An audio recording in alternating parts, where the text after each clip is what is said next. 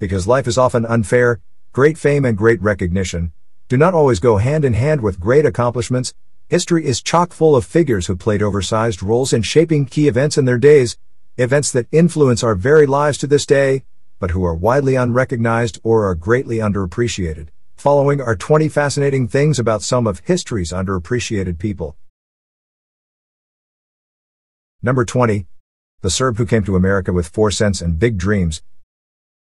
In 1884, Nikola Tesla, 1856 to 1943, a Serb from the Austro-Hungarian Empire, arrived in America with four cents in his pocket, some poems and blueprints for making a flying machine. The flying machine was never built, but by 1900 Tesla had revolutionized the world by effectively harnessing the power of electricity. Electricity had been around for some time, but it took Tesla to make the things that made electricity an everyday part of everyday life. Among other things, he invented fluorescent lights, electric generators, the FM radio, spark plugs, remote controls, robots, and the Tesla coil that is used to transmit radio and TV broadcasts. He was also a character, one could say with quirks that made him the epitome of a made-for-Hollywood mad scientist. Number 19. Getting shafted by Thomas Edison. With a record 1,093 patents to his name, Thomas Edison, the Wizard of Menlo Park is often described as the world's most prolific inventors. In reality, most of Edison's inventions were either by people he hired and whose inventions he then patented in his own name, or by strangers who had nothing to do with him, but whose inventions Edison simply stole. Nikola Tesla was among those in the former category. Shortly after Tesla's arrival in the U.S., Edison hired the brilliant but new immigrant to redesign his electrical generators and perfect his light bulb, promising him $50,000 if he did so. Tesla did so, but when he asked for the $50,000 he had been promised, Edison laughed it off, telling him, Tesla, you just don't understand our American humor. When you become a full-fledged American, you will appreciate an American joke. Number 18. Switching over to Edison's rival. After Thomas Edison screwed him over, Nikola Tesla took his talents to Edison's greatest business rival, George Westinghouse, nowadays, Alternating current, AC, lights up our homes and workplaces, and powers up our appliances through wall sockets. By contrast, direct current, DC, is relegated mostly to batteries. In the 19th century, however, the issue was undecided, and powerful interests fiercely competed to decide whether AC or DC would dominate the world. AC was supported by Westinghouse, who pushed it as the best means to bring electricity to the masses. On DC's side was Thomas Edison. There was serious money at stake and in hindsight considering that Tesla's talent settled the issue in favor of AC, Edison might have had cause to regret screwing his former employee over. Number 17. Paying Edison back. Direct current, DC, is crappy when compared to alternating current, AC, because DC is weaker and can only be transported short distances. However, Thomas Edison had already invested millions in DC, and he was not about to let the upstart AC flush that investment down the drain if he could help it. Unfortunately for Edison, the former employee whom he had screwed over, and in whose face he had laughed, ended up playing a key role in flushing that DC investment away. Nikola Tesla, working for AC advocate George Westinghouse, basically designed the modern AC electricity supply system that ensured its easy delivery and use. In so doing, Tesla ensured the defeat of Thomas Edison and his DC plan in what came to be known as the War of the Currents. Number 16. The Quirky Genius. In his personal life, Nikola Tesla was an unusual character, in addition to being a celibate. He hated human hair jewelry, and anything that could not be divided by three, he had to count his steps to make sure that they were divisible by three otherwise or if he lost count he would have to do his journey all over again. Tesla also had a phobia of round things, so powerful was his fear of round items, that he once got a fever from looking at a peach.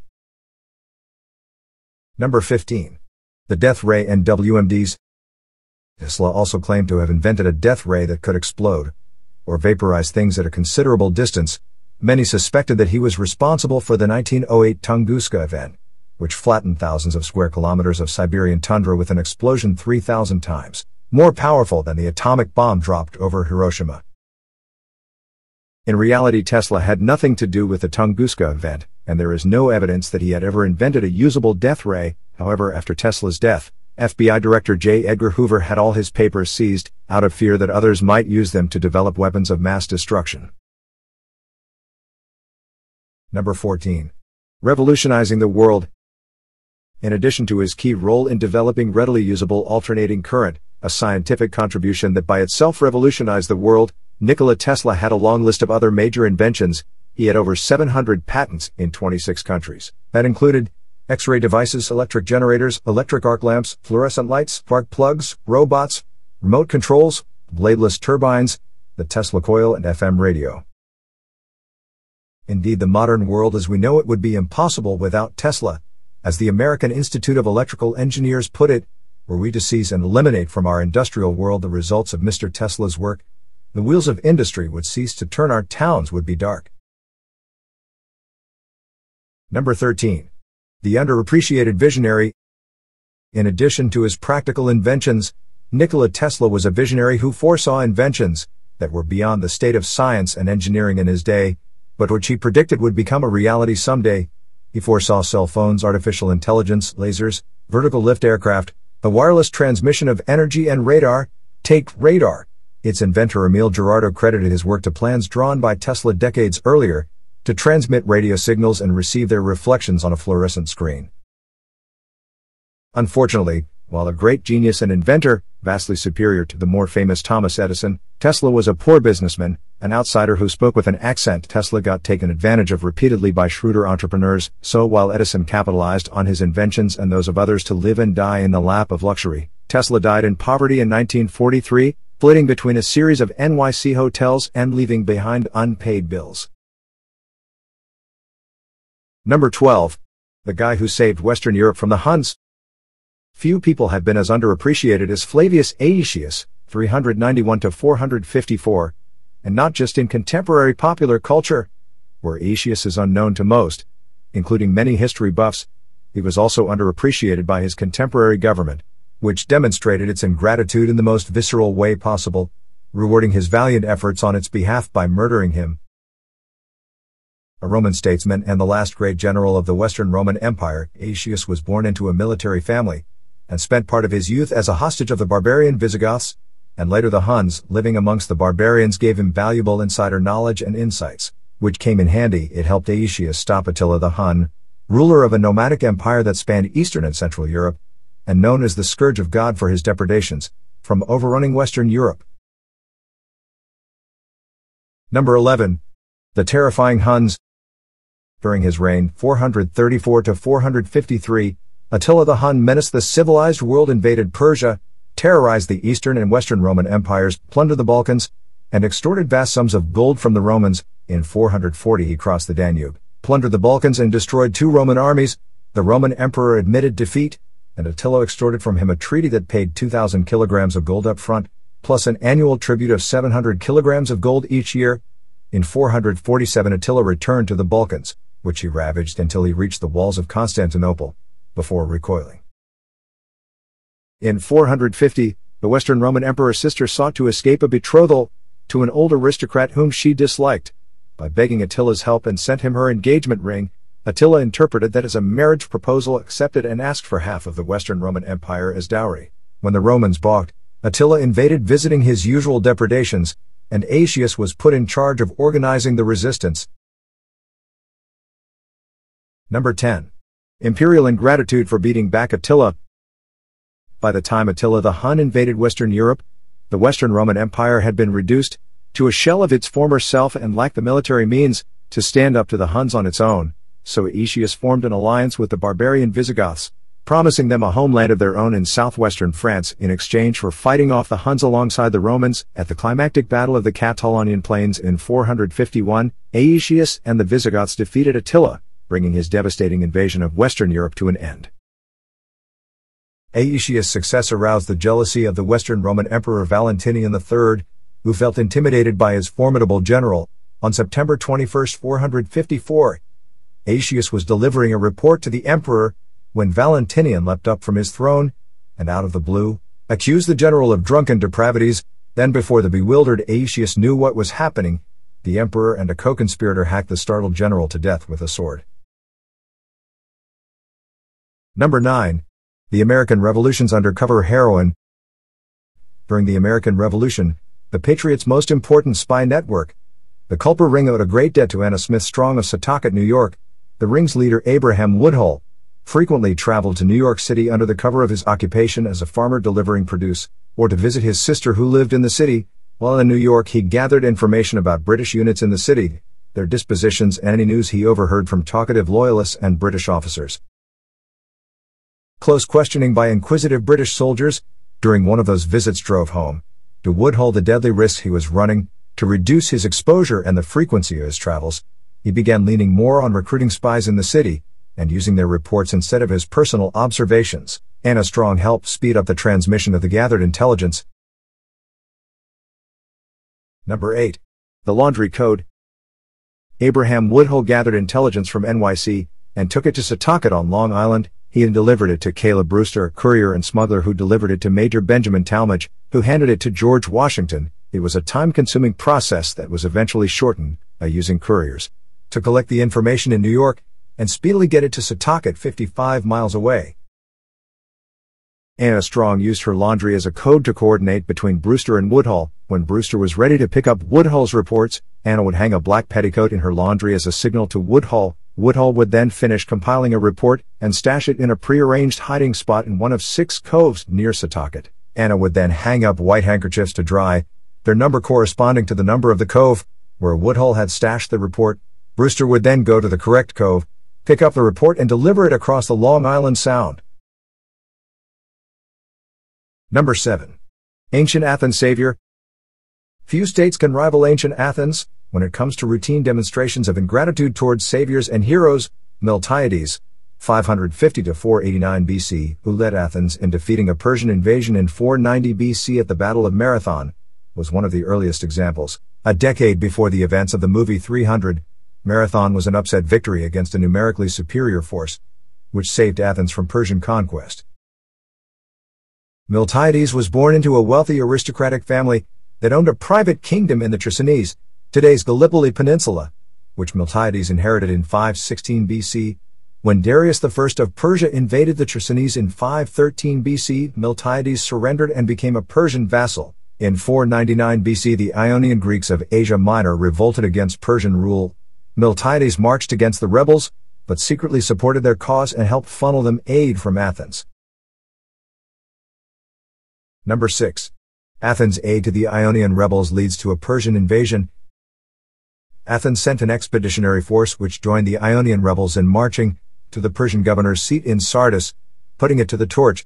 The Persians eventually crushed the revolt in 495 BC and discovered Miltiades' betrayal. He was forced to flee to Athens where he was elected one of its ten generals.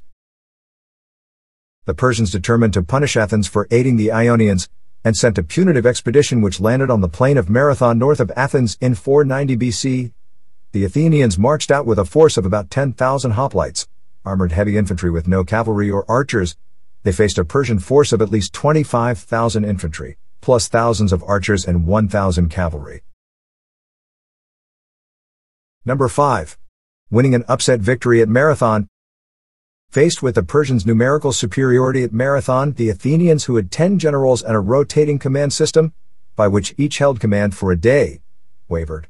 For over a week they simply watched the Persians from heights overlooking the plain, until Miltiades turned to take command. He convinced a closely divided war council to give battle. Descending from the heights, Miltiades assembled the army with reinforced flanks and a weakened center, and advanced. Once they got within Persian archery range, Miltiades ordered his men to charge a full run.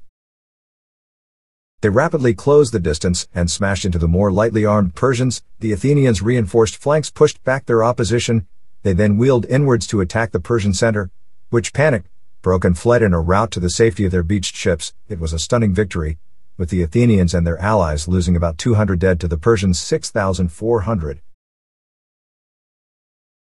Number 4. Athens' stunning ingratitude.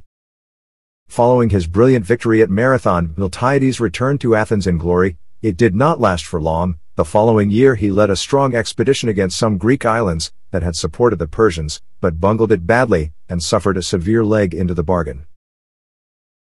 Miltiades' defeat seemed so absurd to the Athenians that they figured it could only be explained by deliberate treachery on his part. His fellow citizens, whom he had so recently saved, put him on trial for treason. He was convicted and sentenced to death, but the sentence was commuted to a heavy fine. Miltiades was kept in prison while his family friends scurried to raise the money for the fine and died in lockup when his leg wound became infected. Number 3. Ancient Egypt's warrior queen. Ahhotep I, flourished 16th century BC, whose name means the moon is satisfied, was a warrior queen of ancient Egypt's 17th dynasty. She led armies in combat against the Hyksos, Semitic invaders who had conquered Lower Egypt. Ahhotep took control of Egypt's throne and military after her husband was killed fighting the invaders, and ruled as regent during the minority of her son Ahmose I. She kept up the pressure against the Hyksos until her son was old enough to take over the fight. Astyages records her deeds. The king's wife, the noble lady who knew everything, assembled Egypt. She looked after what her sovereign had established. She guarded it. She assembled her fugitives. She brought together her deserters. She pacified her upper Egyptians. She subdued her rebels. She is the one who has accomplished the rights and taken care of Egypt. She has looked after her soldiers. She has guarded her. She has brought back her fugitives and collected together her deserters. She has pacified Upper Egypt and expelled her rebels. Number 2. Saving her son's throne. When Ahhotep's son came of age, he took the reins of power, chased out the Hyksos, and reunified Egypt, as Ahmose I went on to found the 18th dynasty, during which the Egyptian empire reached its zenith, stretching from Syria in the north to Nubia in the south, and from Mesopotamia in the west to the Libyan deserts in the west. Hyksos sympathizing rebels attempted to seize the throne, while Ahhotep's son was busy in the south warring with Nubians, so she rallied loyal troops, personally led them in fighting off the rebels, and foiled their attempt, for that she was rewarded with the Golden Flies of Valor, ancient Egypt's highest military award for courage. The Pharaoh's version of America's Medal of Honor or Britain's Victoria Cross, it was discovered in her tomb, along with weapons and jewelry, thousands of years later. Number 1. The Civil War's greatest nurse. During the American Civil War, Mary Ann Bickerdyke, 1817 to 1901, served as a nurse and hospital administrator for the Union Army, she helped establish hundreds of field hospitals for the wounded and sick, and after the war spent decades helping veterans and their families secure their pensions. Her deep concern for and tireless efforts on the soldiers' behalf earned her the nickname Mother Bickerdyke from the Men in Blue, and won the admiration of many of their commanders, including U.S. Grant and William Tecumseh Sherman. Born and raised in Ohio, Bickerdyke was one of the first women to attend Oberlin College. She eventually settled in Illinois, where she made a living as a botanic physician and a provider of alternative medicines using plants and herbs. That skill set served her well during the Civil War.